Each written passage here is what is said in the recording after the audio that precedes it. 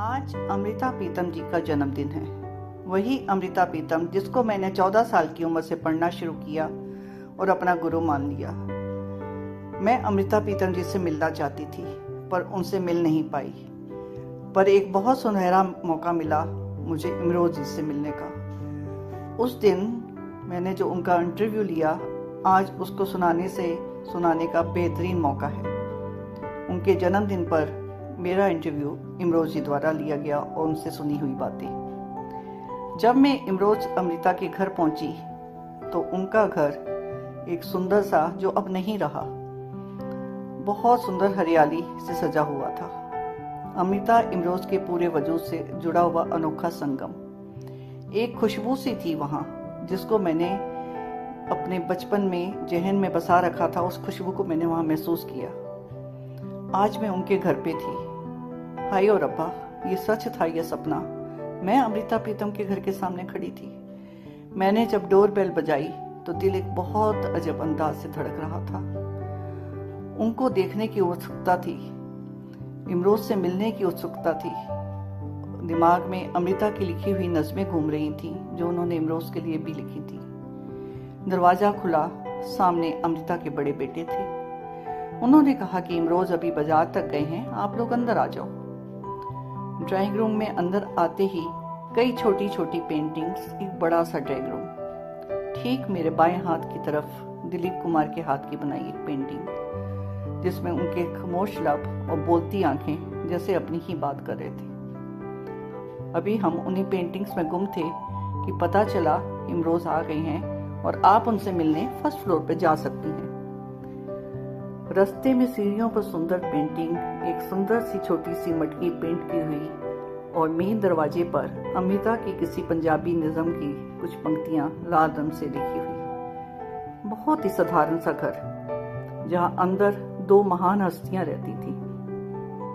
अंदर आकर मेरे को इमरोज ने एक छोटी सी मेज पर बिठाया। वो छोटी सी मेज जहाँ अब इमरोज अक्सर अपनी कविता और नज्म लिखते हैं। उसके ठीक पीछे कुछ मुस्कुराते हुए से पौधे। सामने की तरफ़ रसोई घर, जहाँ कभी अमृता अपना खाना खुद बनाती होगी, और इमरोज के साथ रहकर वहीं पर इमरोज उनकी मदद करते थे। उसके लिए चाय बना देते। यहाँ सब सामान शीशे के, यानी पारदर्शी जार में है। कभी भी कोई सामान खत्म होता तो मैं उसको फिर से भर देता था, ये इमरोज ने मुस्कुराते हुए बताया। अमृता को मैंने कभी कोई किसी चीज़ की कमी महसूस नहीं होने दी। ना उसको कोई परेशानी हो। फिर इमरोज मुस्कुराते हुए बोले और बहुत सुंदर बात कही कि काश इंसान भी पारदर्शी शीशे की तरह होते ना, जिसके अंदर झाँक कर हम देख सकते। कितनी सहजता से इमरोज ने कितनी गहरी बात कर दी। और मैं वही रसोई घर के सामने मेज पर बैठी उस इंसान को देख रही थी, जिसका ज़िक्र अमृता की नज्मों में होता था। एक सपना वो अक्सर देखा करती थी। ये सपना उन्होंने लिखा भी है। कि एक लंबा सा आदमी सफ़ेद कुर्ते पजामे में कैनवस और रंगों से कुछ पेंट कर रहा है। ये सपना वो कई साल देखती रही। इमरोज ने हँसते हुए बताया हाँ मुझसे मिलने के बाद वो सपना उनका कम हो गया। सच में कोई इतना प्यार करे और उसके जाने की बातों को, अपनी एहसासों को उस औरत को ज़िंदा रखे, किसी औरत के लिए इससे ज़्यादा खुश नसीबी और क्या होगी? मैं जब बात करते हुए अमृत, मैंने नोट किया कि इमरोज ने एक बार भी अमृता के लिए था शब्द यूज़ नहीं किया। उसमें उनकी हर शब्द में है शब्द था। मैंने कहा, आपने एक बार भी यूज़ नहीं किया? उन्होंने कहा हाँ अमृता तो यही है। मेरे लिए तो वो कभी कहीं गई नहीं। ये कहते हुए उन्होंने एक कोका कोला मेरे हाथ में थमाई। शर्म सी महसूस हुई इतना बड़ा शख्सियत अपने हाथ से हमें दे रहा है, लेकिन उनके दिल में कोई अहंकार नहीं था। था तो आँखों में सिर्फ़ प्यार अमृता के लिए, उनकी बातों के लिए। मैंने उनको देखकर कहा, मैं तो अमृता जी से भी मिलना चाहती थी। तो बोले, मिली क्यों नहीं? वो तो सबसे मिलती थी। ये दरवाज़ा सबके लिए खुला रहता था। तुम कभी भी आ सकती थी, पर तुमने अब आने में बहुत देर कर दी। मुझे सच में बहुत अफसोस हुआ कि काश उनके जीते जी मैं उनसे मिलने आ पाती। सामने जो मेरे शख्स था वो आज भी पूरी तरह से अमृता के प्यार में डूबा हुआ था। वहाँ की हवा में रंग था नज्म थी, प्यार ही प्यार था। कोई कैसे किसी को इतना प्यार कर सकता है? पर एक सच सामने था। एक अत्यंत साधारण सा आदमी, भूरे रंग के कुर्ते में, आँखों में चपक चमक और चेहरे पर नूर। शायद ये अमृता के प्यार का ही नूर था, सम्मोहन था। फिर मैंने उनसे पूछा, क्या मैं अमृता का रूम देख सकती हूँ? अरे, क्यों नहीं? आओ, फिर उन्होंने मेरे को पूरा घर दिखा दिया। यहाँ पहले ड्राइंग रूम हुआ करता था। वहाँ इमरोज की पेंटिंग और अमिता की नजमों का संगम बिखरा हुआ था।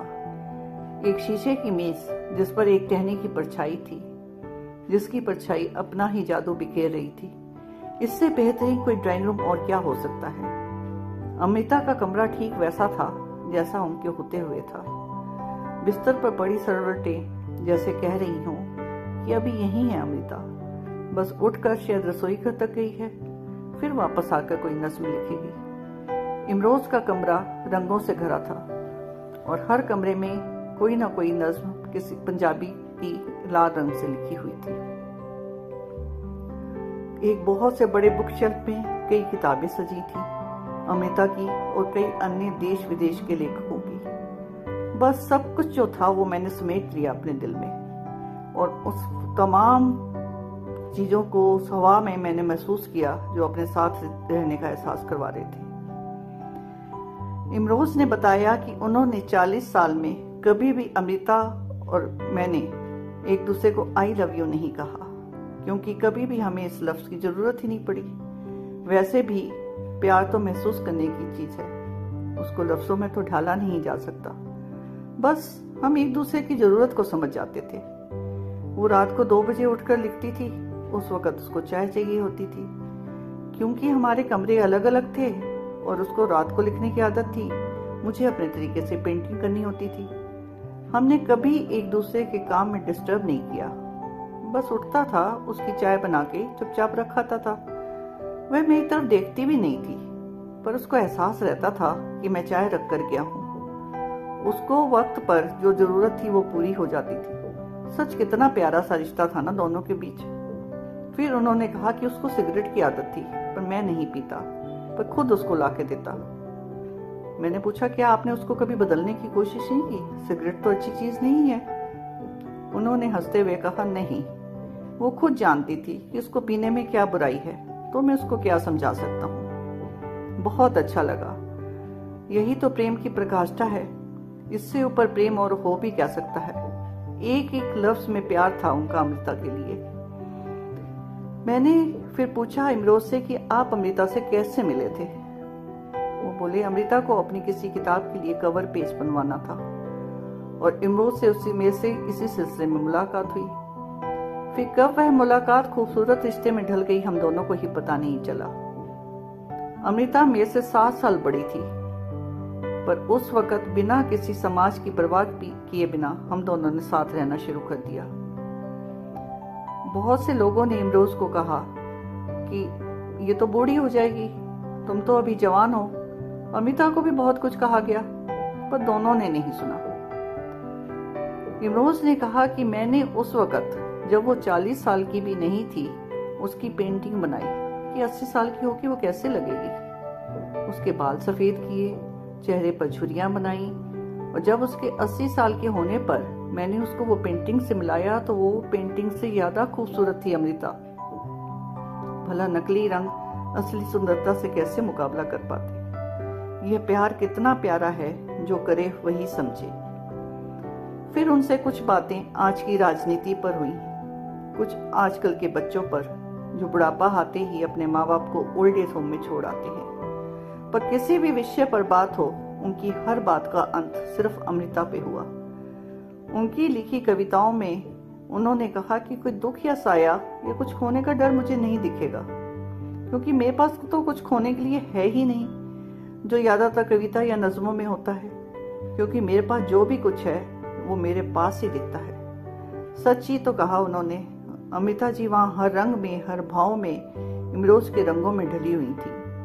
उन्हीं के लफ्जों में तो उन्होंने लिखा है, लोग कह रहे हैं कि उसके जाने के बाद तो उदास और अकेला रह गया होगा। पर मुझे तो कभी वक्त ही नहीं मिला, ना उदास होने का, ना अकेला होने का।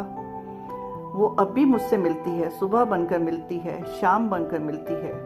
हम नज़में लिखकर एक दूसरे को कितनी देर तक देखते रहते हैं और अपनी नज़में ज़िंदगी को सुनाते रहते हैं। यह छोटी सी मुलाकात मेरी ज़िंदगी का सबसे अनमोल यादगार पलों में से एक है। उनके कहे अनुसार फिर मैं उनसे जल्दी मिलूँगी। क्योंकि वक्त का तो कुछ पता नहीं होता। और अमृता प्रीतम की इमरोज से की गई ये मुलाकात इससे बेहतरीन और क्या होती। है आज अमृता प्रीतम जी का जन्मदिन है।